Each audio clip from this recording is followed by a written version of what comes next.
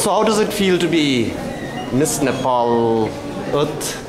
It's really great. I'm having a good experience. Just other that I didn't win Miss Nepal Earth.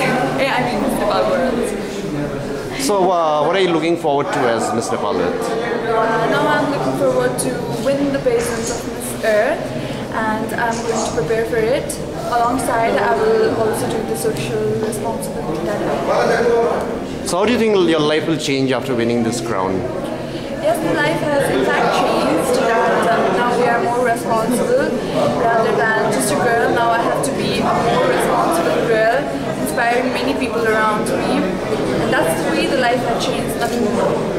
And what advice would you like to give aspiring Miss Nepals? Uh, just do your best, be yourself.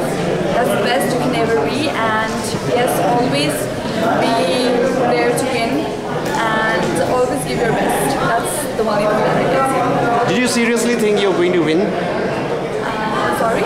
Did you seriously think you would win Miss Nepal yes, or one of, of the crowns? Actually, I was thinking at the last minute after I gave my answer in top five. Actually, I was really confident that yes, I'm going to